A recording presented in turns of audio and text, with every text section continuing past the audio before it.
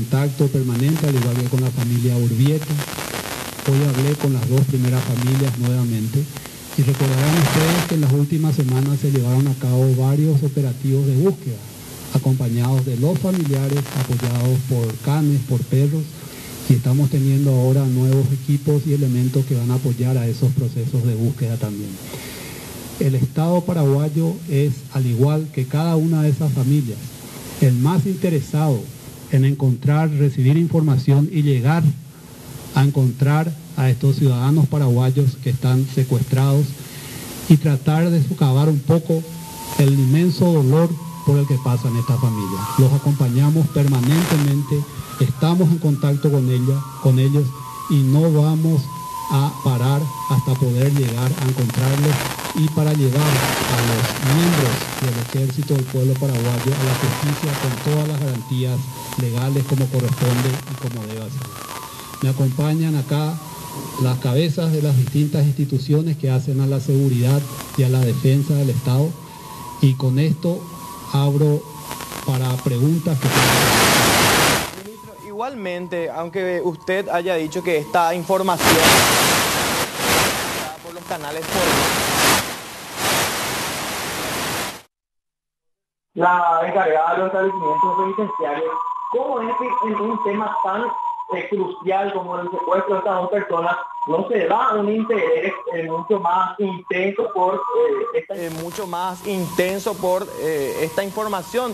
Porque justamente usted está diciendo que luego de esta conferencia de prensa ahora están volviendo a hacer un, una investigación en el campo, ministro. Por eso les reitero y le agradezco la pregunta. Diariamente se reciben alrededor de 50, 80 datos sobre distintos temas que hacen a la seguridad del Estado. La mayor parte de ellas son falsas, la mayor parte.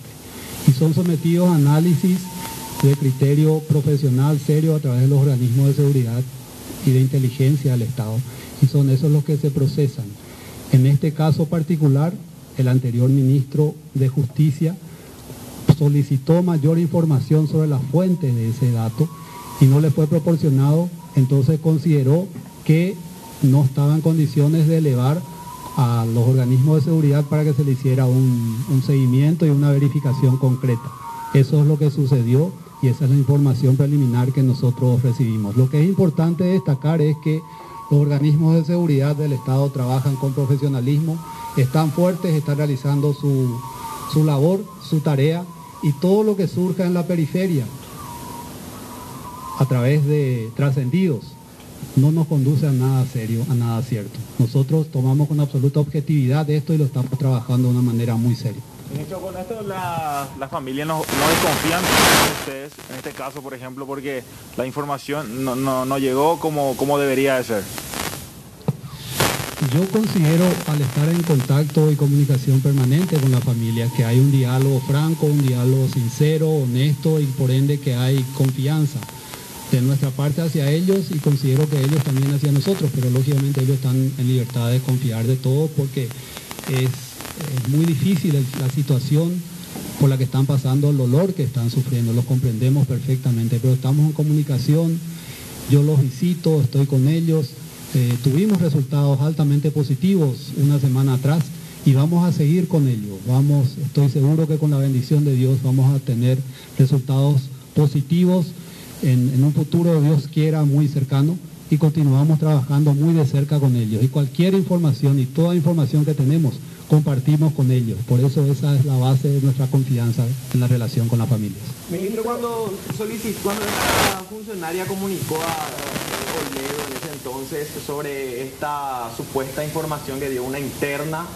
esas fueron, esas fueron las palabras de la funcionaria, no se hizo ningún trabajo adicional, solamente se esperó que esta persona haga un reporte formal, formal que decía los protocolos del ministerio o, o de lo que el Estado establece, ministro. Todos los organismos de seguridad del Estado. Eh, se transmitió y no llegó porque la, el, la, autoridad que la recibió consideró que no reunía los requisitos y los canales oficiales correspondientes para que pueda ser procesada esa información.